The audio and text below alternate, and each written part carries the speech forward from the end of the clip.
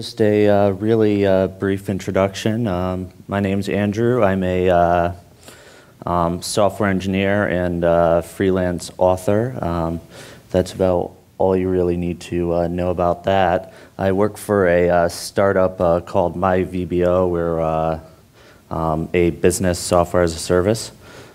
Um, we use CakePHP entirely for back-end development. We do not use it for our front end at all.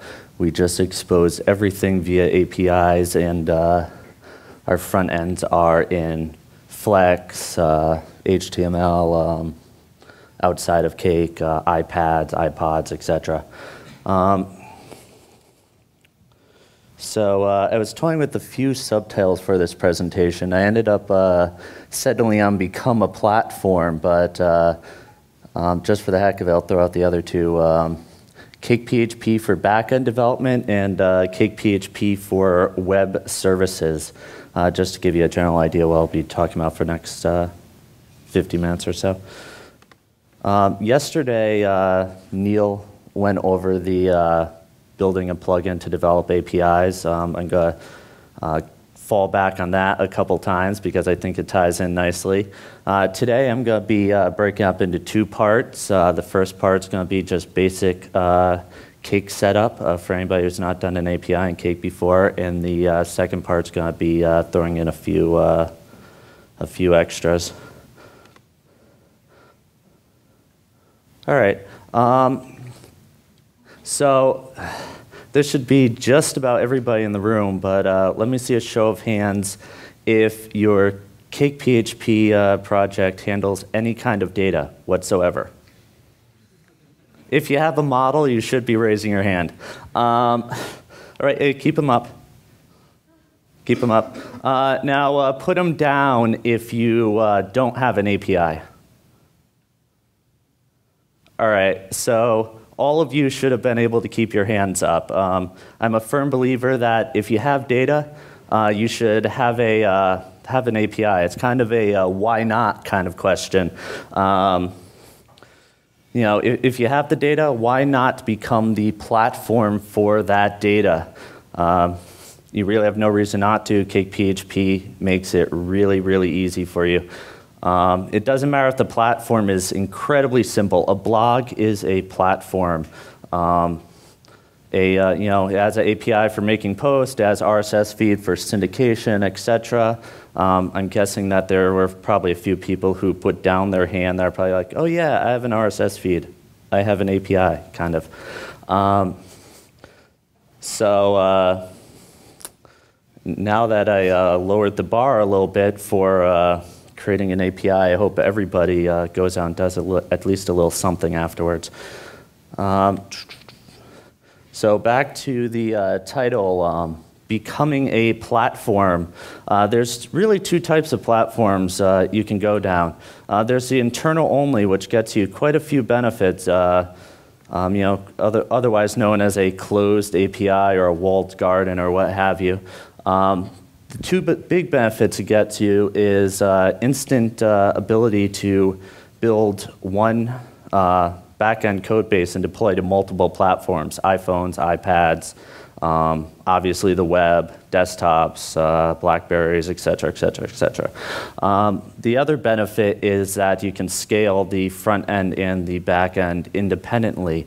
Um, so uh, if you blow up like uh, Twitter, you can um, you can keep your front end light and uh, throw out as many API servers as you can possibly want, assuming you're on the cloud and you're not buying hundreds of computers or anything like that. Um, the second option, um, which has a lot more benefits, is the external open API, and I really hope everybody uh, in the room today uh, considers that, you know, unless you're a hospital or military or something like that, where you have a reason not to, oh, uh, um, there's a ton of benefits. Uh, everything that is a benefit of the closed API plus uh, a few extras, mainly growth. Uh, you can gain a user base that grows your company more than you can possibly imagine, particularly because they make mashups, they uh, innovate um, in ways that you may have not intended. Uh, they use your products in ways that you'd never um, that you didn't build your product for, but hey, you know, it, it grows, it's organic. Um, and you gain evangelists because if somebody's building a product on your platform, they're going to want you to stick around and they're going to want you to grow because your success is tied in with them. Um, and if you really need a buzzword to go back to your uh, boss or investors or whatnot to, and uh, get them to uh, um, sign off on you working on an API, uh, just bring up the platform play. Uh, it, wor- it worked for Facebook, it worked for Twitter, it worked for Google, so uh, it might work for you, hopefully. Um, I kind of skipped ahead and went to my next slide, actually. Um, so if this was five years ago, I'd have a really tough time making this sell. But fortunately, it's not uh, five years ago. We have a lot of use cases out there that have proven that developing APIs work really, really well. Twitter, Facebook, Bitly, Amazon, uh, and Salesforce, for instance, would be nothing like what they are today if they had not opened up their API, um, especially Twitter, which is why I kind of bolded them up there. Um, so, uh, you know, it's almost a mandatory requirement for applications now, more so than nice to have to have an API. Um, so types of APIs, uh, there's pretty much two patterns you can go to. There's more, but uh, they're not nearly as well known. Um, the first is uh, REST, which uh, Neil went over um, yesterday uh, briefly, and the second is remote procedure calls. Um, and within those, you can have a number of different formats and protocols. The most common are XML and JSON, uh, but YAML, AMF, uh, etc. Uh, I am going to be focusing on REST uh, today, which is, uh, as Neil mentioned, representational state uh, transfer. Um, it's resource based. Um, everything in REST is a resource, and you can call them collectively nouns. Um, and there are five verbs that can act in that nouns in uh, HTTP, which is obviously the uh, um, most widespread example of REST. Um, they are get, put, post, delete, uh, and head. I'm sure everybody in the room knows those five, probably. Um, I'm not going to even touch on head and put because they're uh, not used nearly as often. Um, but the last important fact about um, REST is it is really, really easy in uh, um, Cake PHP, um, ridiculously easy. So uh, today's app, um, just so I have something to use as an example, is a URL shortening website. I chose it because it's probably the simplest thing I could possibly think of. Um, it just has simple user authentication and CRUD for a URLs object. So just two models, URLs, users. Uh, users can be pretty much the same as uh, the one in the uh, cookbook. And URLs is just ID, user ID, URL created, modified. I actually have a much more advanced version of this running in production, but that's like 20 fields, and I want to make this uh, simple. Um, so this is really all you need to make a RESTful service in uh, Cake PHP. Um, just stick that uh, second bullet point there in your uh, routes, uh, routes config file. Um, users is the uh, uh, the resource I want to map. That, what that'll do is that'll auto create six routes for you. You can create them manually. That's just is shorter. Um, you know, two get methods. For those familiar with unfamiliar with REST, I'll quickly go over them. Uh, two get methods, one without an ID that just calls index on your controller, one with an ID that calls uh, view on your controller, um, and uh, two post methods, uh, one without ID that calls uh, create, or add, sorry, and uh, one with an ID that calls edit. And um, put is pretty much a synonym for edit. Um, in a full RESTful application, you'd actually want to replace the entire record if you get put. So if the field's not set, null it out, etc. Um, so it's not really a pure edit. Um, so uh, and uh, obviously delete, which is probably uh, pretty self-explanatory. And I just blatantly stole this from the cookbook. Uh, the URL's on the bottom um, for that table. Uh, one quick caveat I wanted to touch on. This is a bit, uh, no real good segue into this. Um, there's a, a, security thing you have to watch out for, which is kind of why the one of the way, reasons REST is set up the way it is.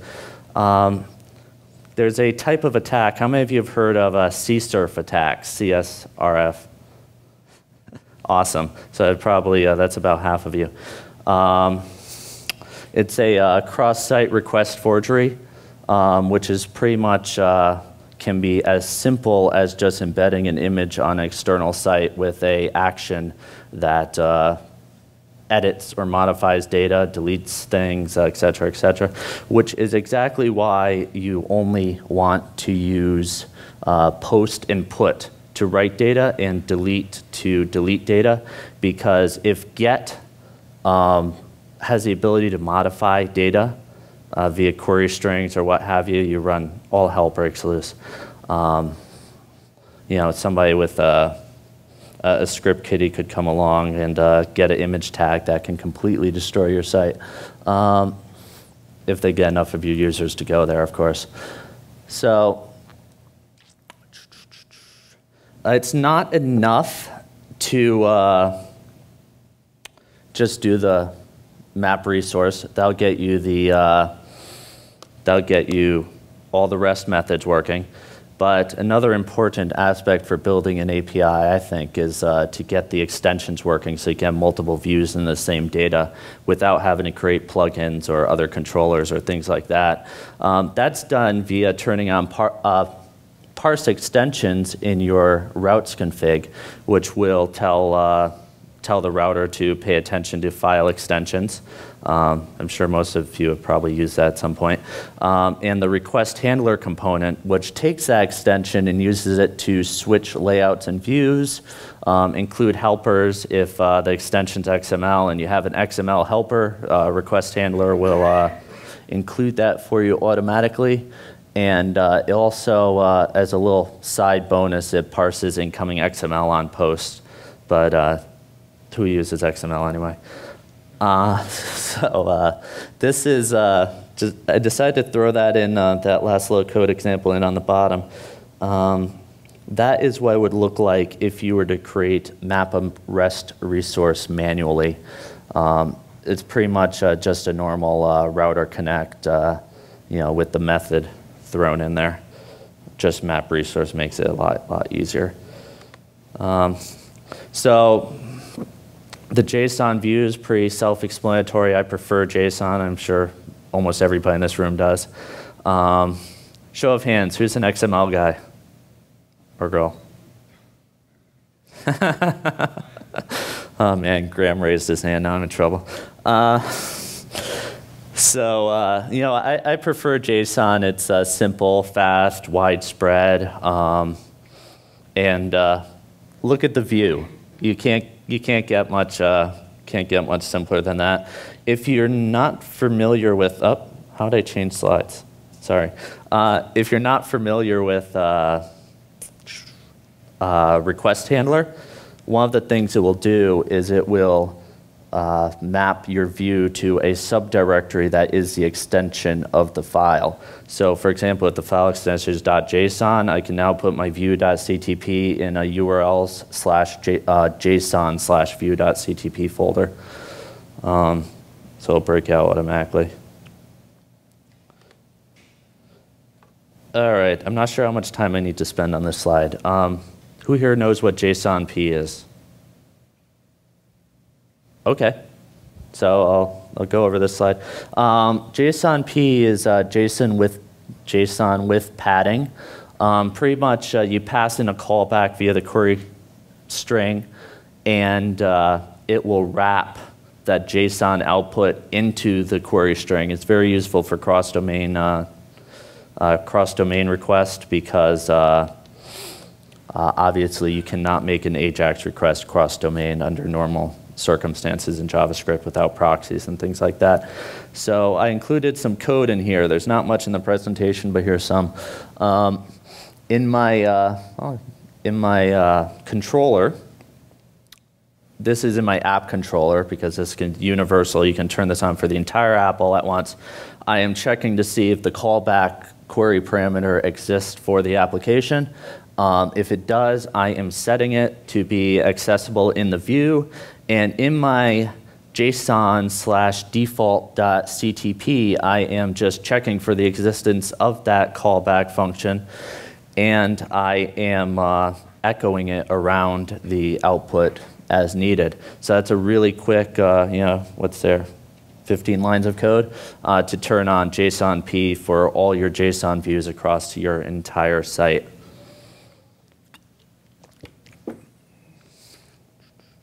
And, oh, that's my dashboard. Uh, all right, uh, the XML view, I don't know, has some good points. It's strongly typed, it's human readable, there's tons and tons of existing tools. Um, the strongly type's a pretty big one. Uh, you've all seen in the XML view before, um, but as before, there's a little XML subdirectory where I can separate all, all my uh, template files. All right, so other views. Um, I wanted to quickly touch on this because uh, I'm a firm believer that uh, because CakeMakes it so easy to create these different views and parse extensions, that there's really no reason to not have as many of these as you can possibly shove into your API. Um, you know, HTML, YAML, CSV, serialized PHP, AMF, which is Adobe messaging format for those of us who have um, had the pleasure of never having to work with Flex, um, Microsoft Excel, et cetera, et cetera. Um, I'm running a little bit behind, so I'm going to speed up a little bit. Uh, testing output. Uh, one of the great things about REST is it's easy to test command line with curl if you have a Unix or Linux-based system or uh, you manage to get curl running on your Windows.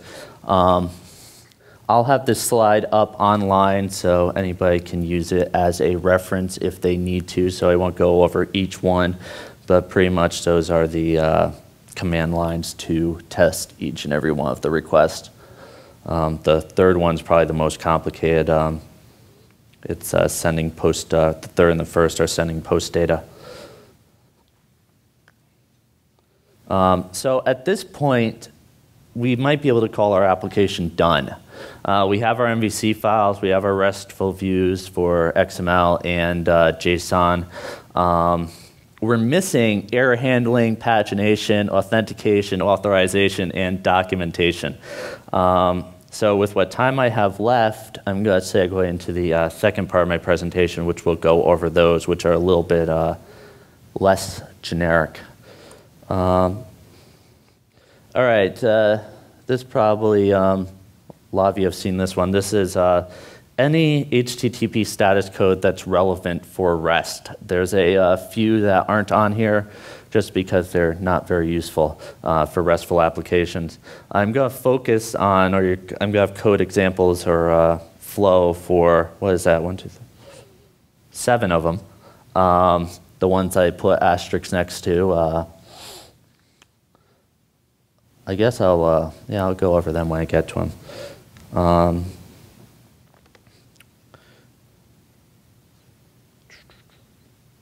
so uh, the uh, that slide's out of order. Sorry about that. Um, okay, so this is a basic flow for our add method as a RESTful application. Um, as an add method, if it's not post or put request, it shouldn't be calling add. Um, that should be throwing a 405 method not allowed. If it's uh, if it already exists, 303 see other, uh, save successful 201 created with a location header uh, of the newly created resource. So you put the location of the uh, new resource .xml, .json, etc. Uh, 1234.xml. Um, and if for some strange reason the save failed, validation errors, whatnot, um, you can uh, throw a 200 error, but uh, put an explanation of why it failed in there. You could also throw a 500, but um, it's debatable which one would actually be right. Uh, 500 being internal server error. Um, the edit method, very similar to add. Um, if it's not a uh, post request, um, just to not contradict myself, this cake's mapping defaults to be a put request also goes here. Um, so if it's not a post or put request, uh, four or five method not allowed. Invalid ID if the user tries to do an edit of ID 1234 um, a 404. Uh, that's pretty self-explanatory unless you have ACL like uh, uh, we saw in Eric's talk, in which case you might not even get to that point. Uh, you might get authentication denied if uh, the right entry isn't in the uh, auth table. But in general, you should be throwing 404 file not found if the ID doesn't exist. Um, success, self-explanatory, that 200 okay, that's the default. You don't even have to do anything for that one. And failure is kind of the same with um, add and delete. Um, if not a post, and this is why I shouldn't be doing, what is that acronym? The copy CP uh, SR? Yeah, I had a CPSR error here. Um, this uh, should say if not a delete or post request um, through 505, uh, 405, sorry. Um, you know, 404 on invalid ID, 200 on success and failure, etc. Um, now I'm going to go back to that slide that was out of order. Uh, so when throwing errors in REST, uh, it's very important to uh, follow a few really simple rules. Uh, the error should be in the same format that the, uh, that the results would have been returned in. So if, you're, um, if the user is requesting JSON, throw the error in JSON. If the user is requesting HTML, HTML, XML, etc. Um, Twitter is very, very bad at this, terrible at it. Um, if you get the fail whale, it used to, I don't know if it still is, but used to be always thrown back to you in HTML regardless of your request format. That is, um, hopefully no one from Twitter is in the audience, but that's absolutely wrong. Um, it should be, uh, if it's a JSON request, the fail whale should be a JSON fail whale. Um, so that's my rule number one for throwing errors. Um, it should be descriptive. Um, you should have something human readable that in there and uh, computer readable in there as well. With uh, um, we're not. Uh, there's no reason not to throw something in there to help out the developer, and something in there so the developer can uh, write code that handles it. Um, and it should be comprehensive. And I want to go back to, uh, to jump around a little bit, go back to the add method. Um, I have it throwing a 200 on uh, OK. So what I'm talking about that is uh, usually if the save fails, it's probably a validation error, unless your database is down or something like that. So what I like to do um, is throw a uh, include or encode the uh, information, the validation errors in my JSON response, for example. That way the client can really quickly handle, uh, handle any of the validation errors that crop up. Um, same with uh, 405 errors, a method not allowed. If uh, the method only allows post and uh, put, I like to throw back an array that has post and put in uh, methods, array, post, put um, so that the client can deal with that in some sort of generic way. Um, and then globally, um, you have your 403 forbidden, which is uh, the user isn't allowed to access the resource, and the 401 unauthorized, which is means the user is not even logged in.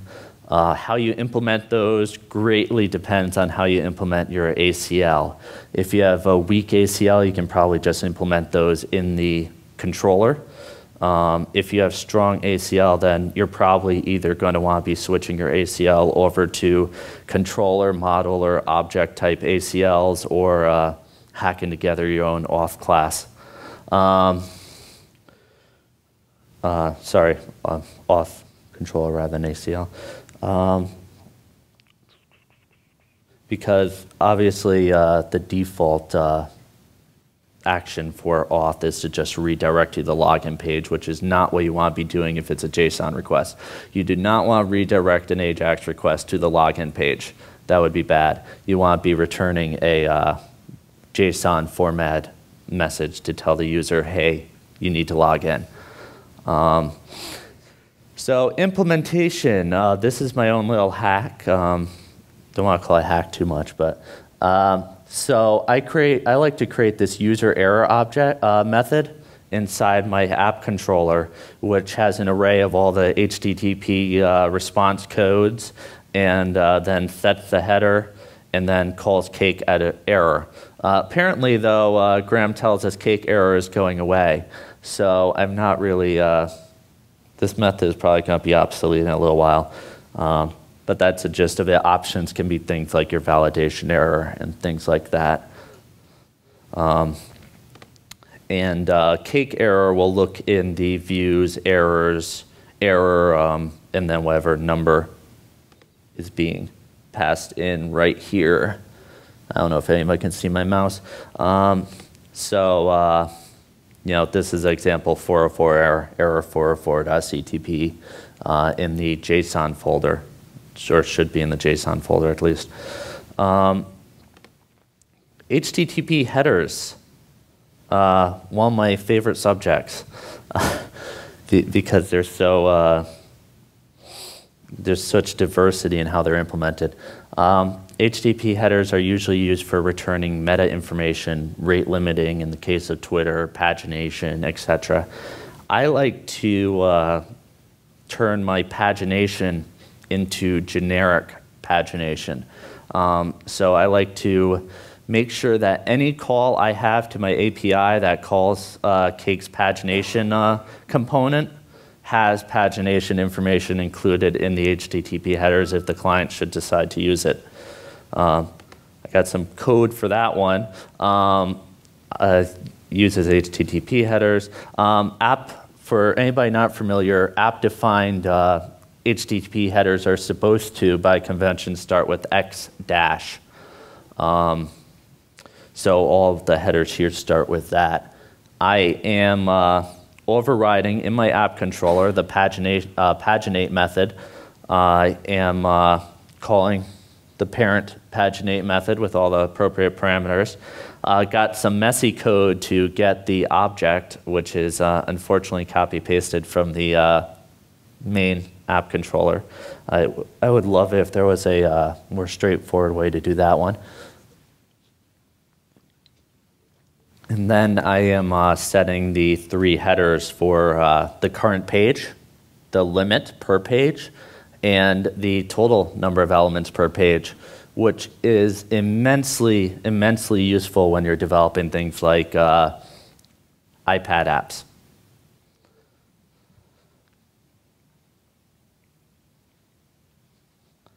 Um, so a quick, uh, a few quick notes on uh, multi-platform development. Um, this is uh, off topic, but use a UI that makes sense. Um, if you're developing a uh, iPad app, uh, I've heard a lot of people say just uh, develop a HTML5 page that displays all your information, throw that in the iPad. Um, but you're really not bringing anything to the table with that. I'm not saying it's bad, but it's not adding anything. Um, if you're going to be doing multi-platform development, uh, add some uh, multi-touch gestures in there and uh, some things like that. Add something that brings some unique value to the, uh, to the application. Um, a quick uh, segue after that is uh, platform support. I talked about headers a second ago, um, and those actually aren't supported by all platforms. They are uh, Flex, for instance, does not support uh, headers in REST. Um, it's just a fact of life. I like to use AMF for Flex because I can um, get around stupid restrictions like that. Uh, so, so that pagination method uh, will not actually work in Flex, but if you're using a, um, with REST, but if you're using AMF or some other method, it will work with that. uh, because REST cannot fetch it. For some strange reason, Adobe decided that'd be a good thing. Um, so the other uh, quick support, uh, quick note is web browsers do not support delete input. It's not something they do. Um, they're part of the HTTP uh, spec, um, but there's plenty, plenty of web browsers out there that will not let you create an AJAX request that's a delete or put. Um, so if you are going to be doing either, you can do this uh, cool little, uh, cool little trick over on the right. Make your AJAX method post instead, and uh, post the variable underscore method equals, and then the name of the method you actually want to call. Um, this obviously only worked for post because of the security reasons I was talking about earlier. If we let you override methods for get, it'd be a very bad situation. Um, so uh, this is actually, uh, I'm not sure who did it first, Cake or uh, um, Ruby on Rails. But Ruby on Rails has the exact same convention. Um, so it's pretty, uh, pretty standard. Cake handles this automatically for you. Um, so just a, uh, quick example. These uh, two HTTP requests are the equivalent. Um, I have the delete over on the left, and I have the post over on the right passing in the method as the post data.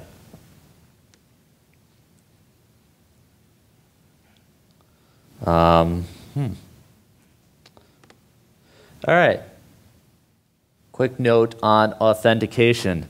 Uh, this is my authentication graph from uh, bad to best. Um, bad, obviously, I hope no one's deploying apps with no authentication whatsoever unless you're a wiki or something.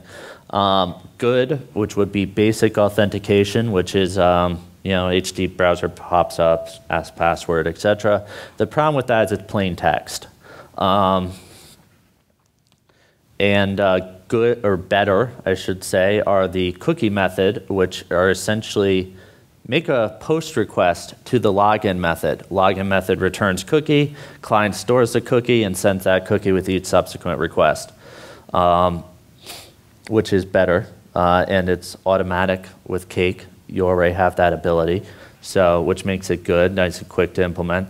Uh, and the digest uh, uh, HTTP authentication method is also much better than basic because uh, very few people use digest, but what it does is rather than sending the password in plain text, it has a shared, uh, it uses the password as a shared secret to encode data that the server gives it. Um, so it takes an extra HTTP request sometimes, but the benefit is it's built into all browsers, and there's no uh, no plain text passwords um, being sent over the line. And obviously, the best, as Neil pointed out yesterday, is OAuth um, so far. Um, so if you are developing an API and you're making that API open, I hope you are using OAuth for your authentication. Um, it has, unlike anything else on this chart, it has the benefit of not requiring you to ask for the user's password.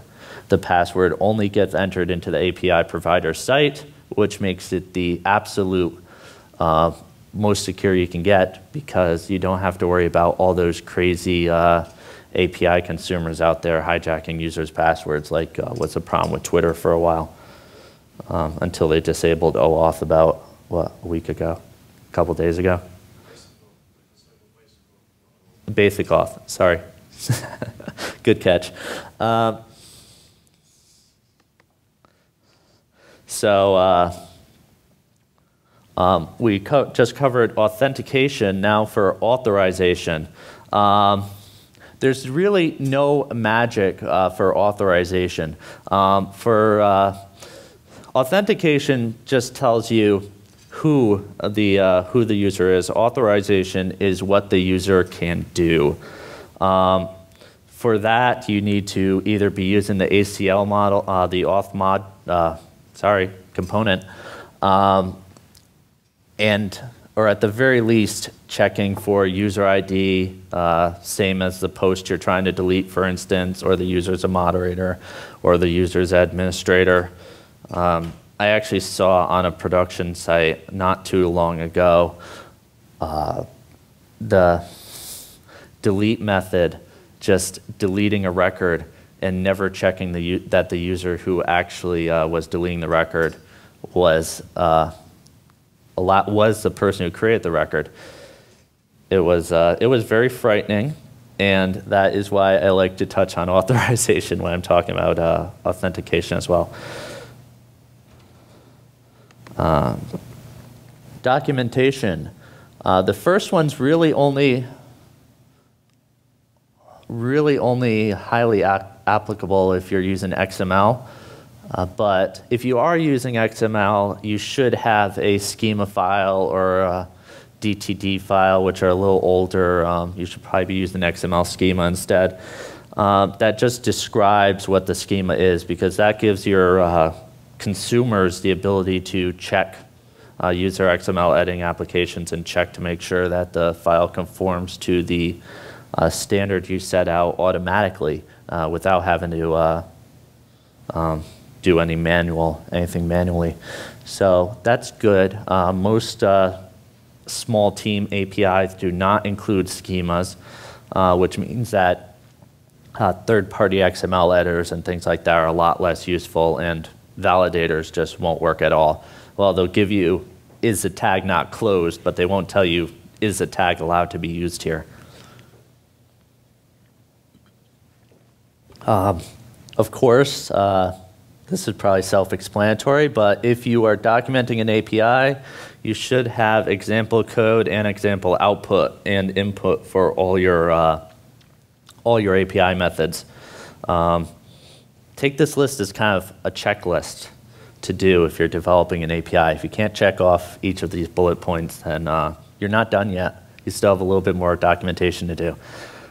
Um, you know, and uh, not really documentation, but the last two are just as important, is uh, some sort of community to be able to get feedback from the users who use your API and uh, a place to send feedback back to them.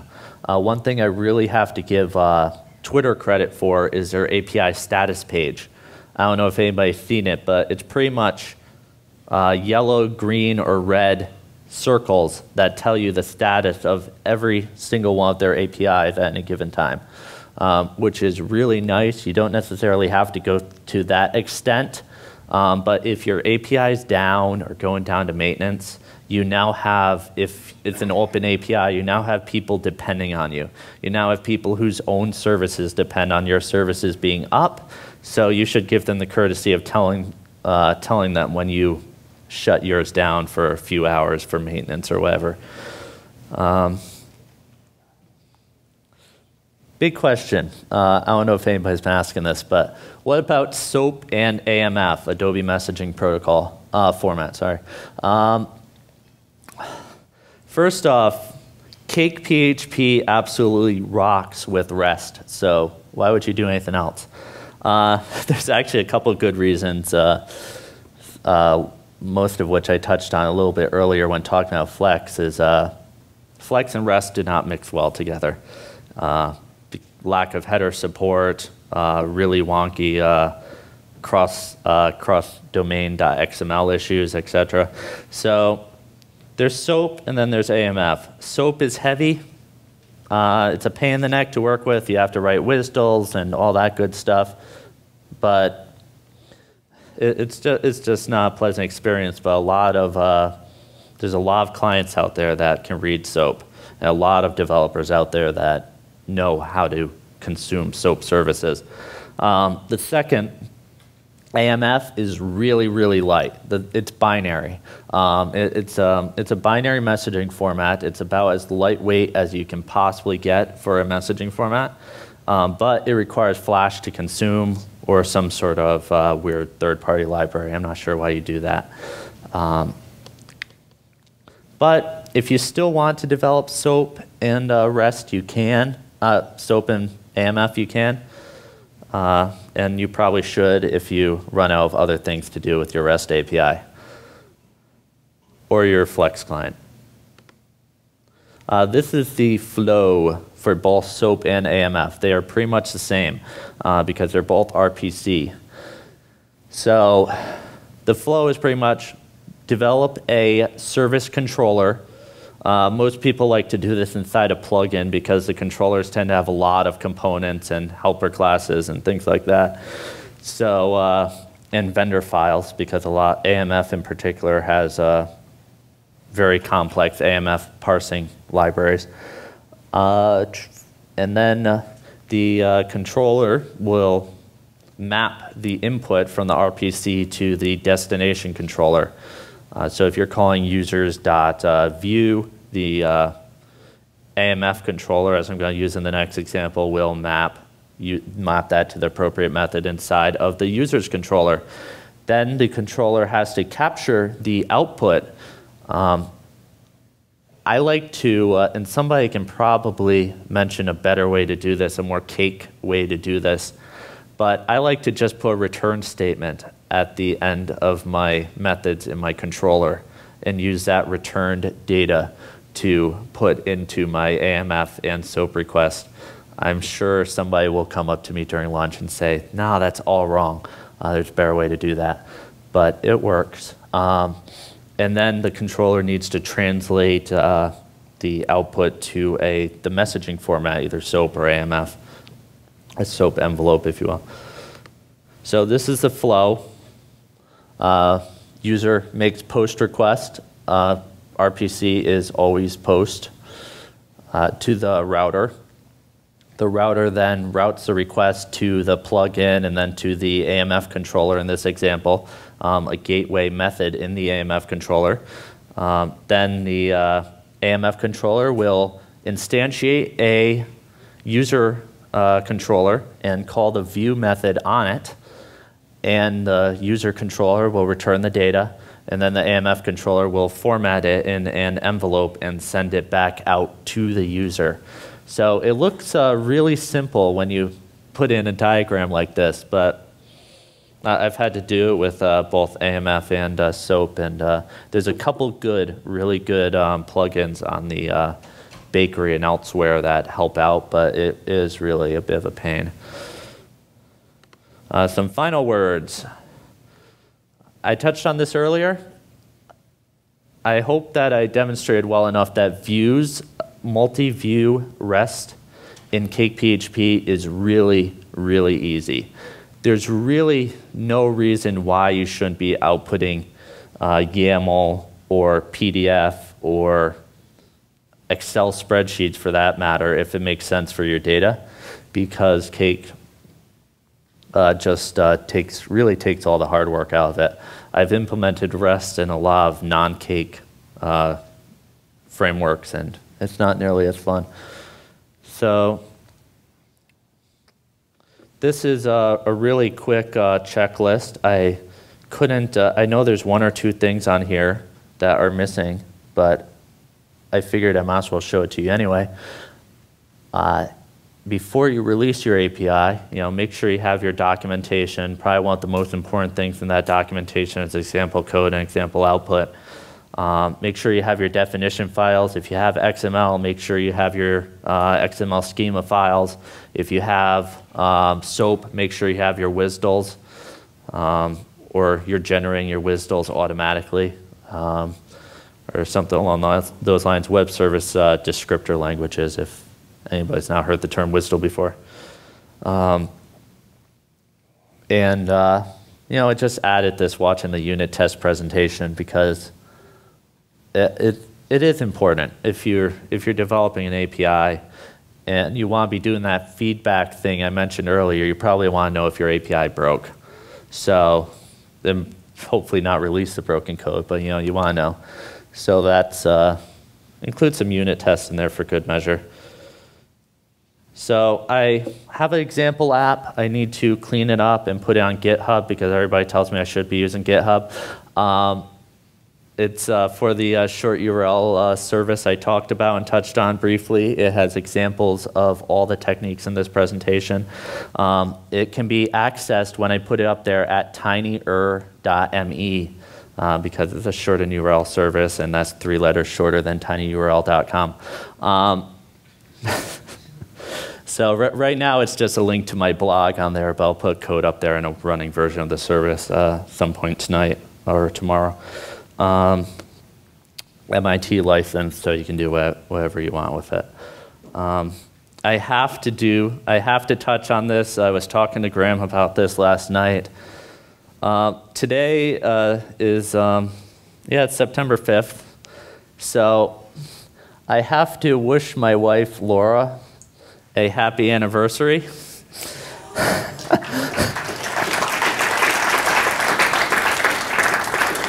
It, it's actually our first anniversary today, um, almost, uh, almost to the hour. So, uh, uh, but, but I had a presentation to give, uh, so I, I hope.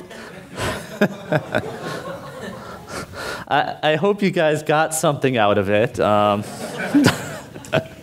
and you found it useful, uh, because um, I'm gonna have to make up for that when I get back. So. Anyway, once again, um, I'm Andrew. Um, you can contact me uh, whenever you want, andrewcurioso.com slash contact. Uh, that's my blog as well. Um, my Twitter is at Andrew Curioso. Please follow me. Uh, I, I, promise I'll tweet when I put the source code up for tinyr.me. Um, and if you don't follow me on Twitter, you might miss it. So uh, if that's incentive, uh, I don't know what is. so uh, I think uh, Graham has a copy of my book to give away, but I wanted to really quickly. I have eight minutes. I cut it pretty close. Uh, but any questions?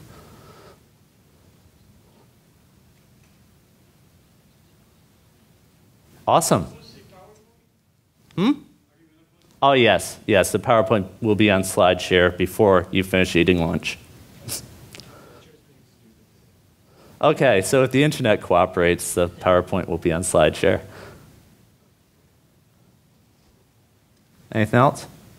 Else? What do you do about versioning your APIs? So when you do an API change to the REST service, how do you handle uh, clients connected to old versions and having a new version of the API? That's a really, really good question. Um, the best, well, th this is not an answer, but don't break backwards compatibility. that, that's, that's, the best, uh, that's the best path, but if you don't, um, if you can't go down that route, I'd probably uh, be developing the API as a plugin.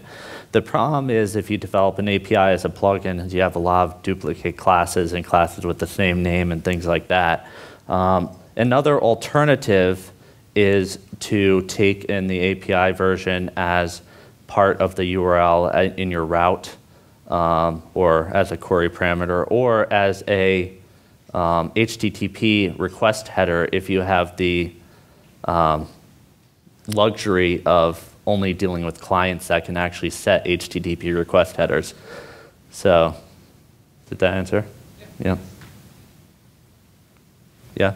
So just a statement on that. Um, if you're going to be versioning APIs, you need to have extraordinarily good test coverage.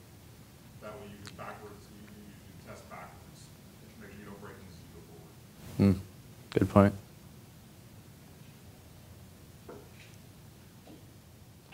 All right. Well, thank you.